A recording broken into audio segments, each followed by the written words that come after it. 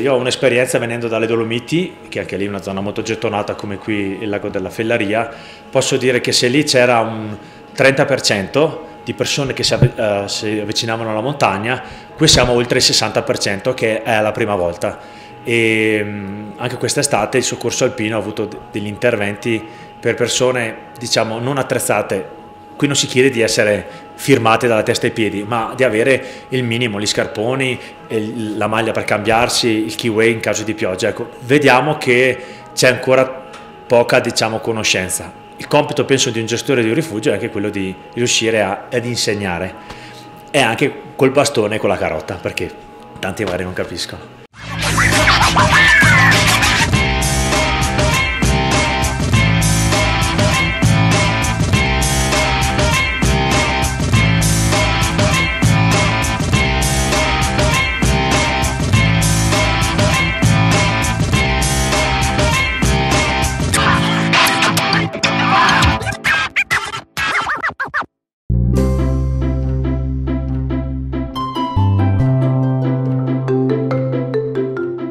Trasferta di oggi è a Chiesa in Val Malenco, a circa tre ore da Milano.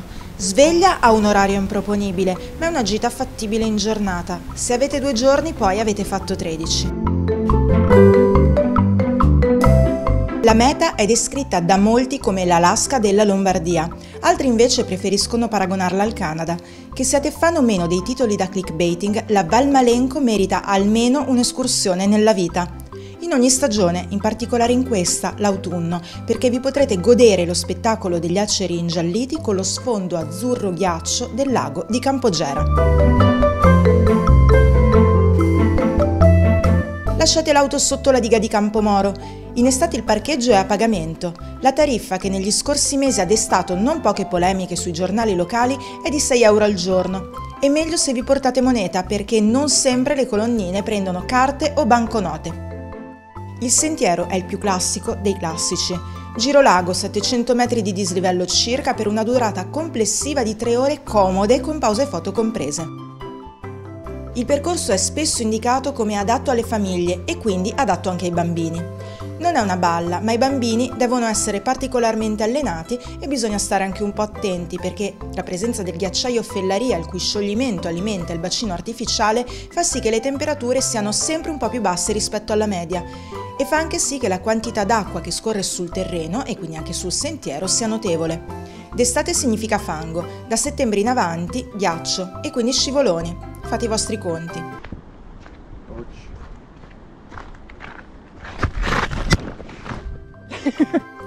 L'arrivo, dopo un'ora di cammino circa, è al rifugio Bignami, che da giugno ha cambiato gestione.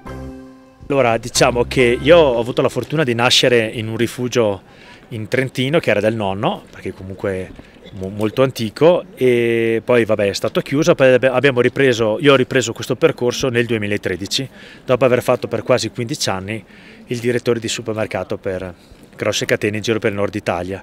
Nel 2013 io e mia moglie abbiamo deciso di prendere questo percorso, di, questo, di, di, di diventare diciamo, il nostro primo lavoro, rifugisti, anche lei ha lasciato il lavoro, lavorava da commercialista e questo è stato fino ad aprile di quest'anno. L'idea di poter cambiare, di voler conoscere anche altre nuove realtà, ovviamente ci ha spinto poi a cercare un rifugio. E come si dice, chi cerca, chi cerca trova. Questa è l'entrata del rifugio, questa poi è la targa del nome del rifugio che è Roberto Bignami, che praticamente eh, era proprio anche del CAI di Milano. Questa, questa, è la nostra sala da pranzo e anche sala da colazione. Facciamo la cucina con un orario continuato dalle 11 fino d'estate fino alle 5 o adesso fino alle 3 perché poi dopo non bisogna abituare la clientela ad arrivare troppo tardi perché poi va giù col buio e siamo anche responsabili anche nel dare le indicazioni giuste alle persone poi per rientrare poi a casa.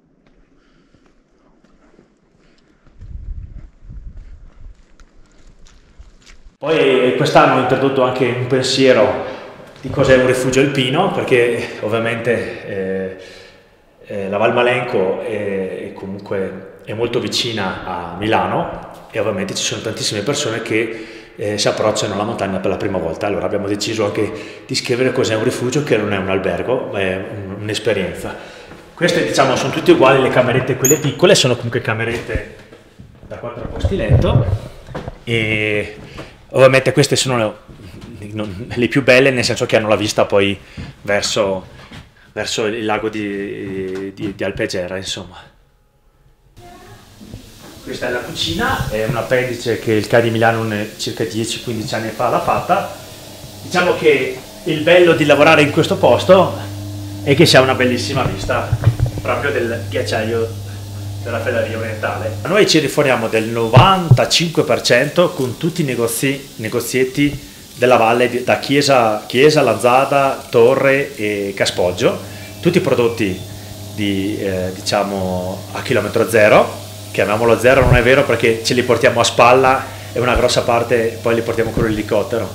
E poi una parte c'è il famoso 5%, alcune cose che porto dal Trentino per integrare diciamo proprio la mia cucina con, con quella valtellinese. Le presaule che vengono fatte qui in Valmalenco, ma anche gli affettati in generale, eh, sono praticamente unici perché come da noi che si mangia lo speck, qui la presaula ma veramente è un altro mondo e sicuramente la Valmalenco si presta e i formaggi noi abbiamo la fortuna di avere l'Alpe Fellaria, che è qui alle spalle, poi il Gembre, il Poschiavino, ma poi abbiamo anche tante aziende agricole nel fondovalle dove producono un ottimo formaggio d'alpeggio, che lo fanno come con la vecchia maniera, cioè ancora con il latte crudo, con la mungitura e tutto quanto.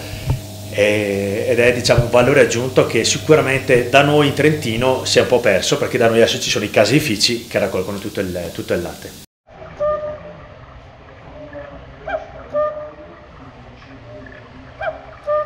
Allora, da bere ovviamente qui in Valmalenco c'è una tradizione che l'abbiamo scoperta qui, che è il GNP, che praticamente è un'erba che cresce a una certa altitudine e praticamente è un procedimento di infusione della pianta che poi viene poi eh, diluita, prima viene in infusione nell'alcol al 90%, e poi dopo viene diluita con acqua e zucchero. Stiamo imparando la ricetta, però anche dal Trentino abbiamo portato le nostre grappe, perché i trentini non siamo produttori eh, diciamo di grappe bianche perché sappiamo che le grappe bianche più, più, buone vengono dal Veneto e dal Friuli però siamo bravi nell'aromatizzarle allora mia moglie ne fa di diversi tipi fa da, dal tarassaco, quel fiore di tarassaco, da ortica limone, dal ginepro, dal rosmarino.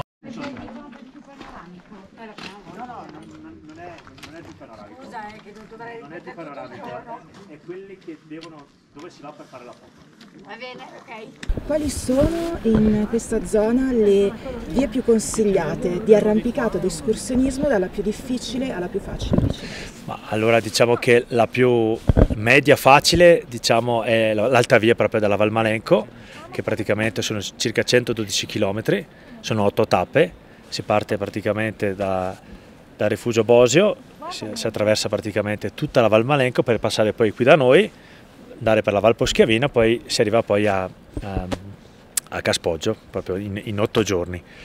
Poi la, la passeggiata più facile qui nei dintorni è il Giro del Lago, che parzialmente consigliato per famiglie perché comunque il primo pezzo è facile, poi c'è tutta poi la salita molto bella con le passerelle al rifugio, però anche per le famiglie che magari non sono abituate tanto a camminare, insomma diventa comunque un'escursione media.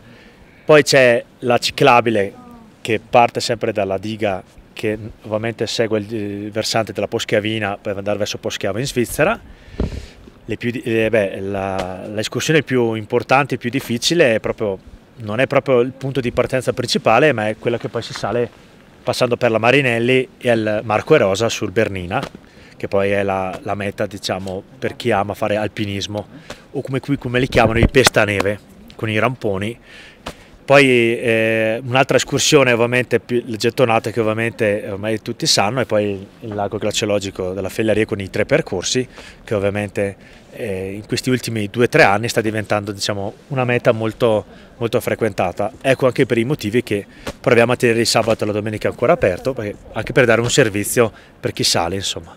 Se come noi dovete tornare a Milano alle 16.30 e avete magari anche delle interviste da registrare nel mezzo, probabilmente non riuscirete a seguire il percorso glaciologico e a fare la foto per cui tutti vanno al Fellaria, cioè quella davanti al ghiacciaio. Ma se andate al Bignami, passateci, aggiungendo un'oretta di cammino al vostro itinerario. Se invece non avete voglia di camminare, sappiate che potete fermarvi sotto al rifugio dove ci sono diverse pareti attrezzate per l'arrampicata, grado medio difficile, e sono solo alcune delle 120 della Val Malenco. In ogni caso scendendo, in estate ovviamente, incrocerete due alpeggi aperti dove magari acquistare i formaggi di cui ci ha parlato Giovanni. E fatelo senza sensi di colpa perché tanto siete in giro dalla mattina presto e ve le meritate di sicuro. Intanto per andare al Bignami avete tempo fino ai primi di novembre, al massimo fino alla prima neve, per trovarlo aperto, perché poi il sentiero verrà chiuso. Tanto che programmi avete per questo sabato?